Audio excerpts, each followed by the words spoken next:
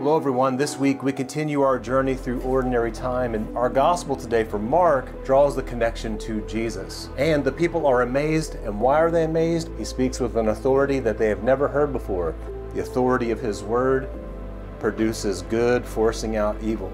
This authority, this word of God, is important to our faith. It's important because within what Moses says, he says, this is the one who is to be listened to. And if he's not, there will be consequences. We need to be listening with all of our hearts and taking the time to read the scriptures. Spend time reading the Bible yourself. It intersects with our life in the moment.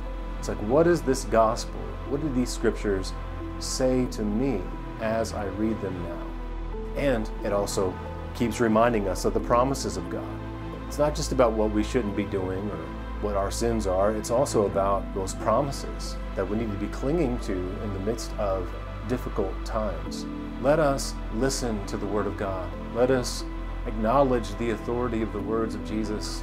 Let us absorb them into our minds and our hearts. Let us feed off the Word of God so that we can grow into good and active disciples.